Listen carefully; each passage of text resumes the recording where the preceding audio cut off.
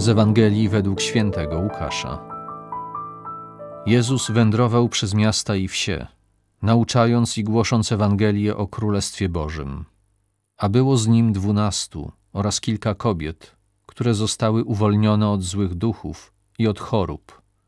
Maria zwana Magdaleną, którą opuściło siedem złych duchów, Joanna, żona Chuzy, rządcy Heroda, Zuzanna i wiele innych, które im usługiwały, udzielając ze swego imienia.